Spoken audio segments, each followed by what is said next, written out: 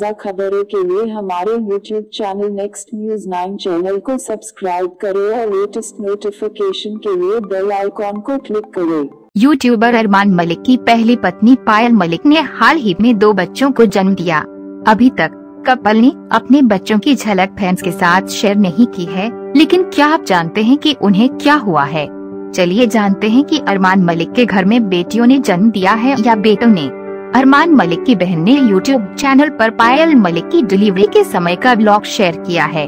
Vlog में देखा जा सकता है कि पायल की डिलीवरी के दौरान उनका पूरा परिवार रोटी के बाहर खुशखबरी आने का इंतज़ार करता है।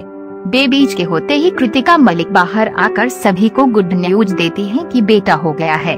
वह पहले तो अनुमान लगाती हैं कि एक बेटा और बेटी हुई है।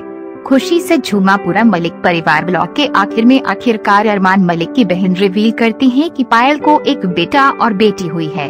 अरमान मलिक और उनका पूरा परिवार इससे काफ़ी खुश होता है और हॉस्पिटल में हड़कंप मचा देता है। पायल मलिक भी डिलीवरी से पहले उम्मीद जता रही थी है कि उन्हें एक बेटी होगी। सभी चाहते थे कि उन्हें एक बेटी हो जाए। अब आखिरकार उनकी ये मुराद भी पूरा हो गई। अरमान मलिक अब चार चार बच्चों के पिता बन चुके हैं।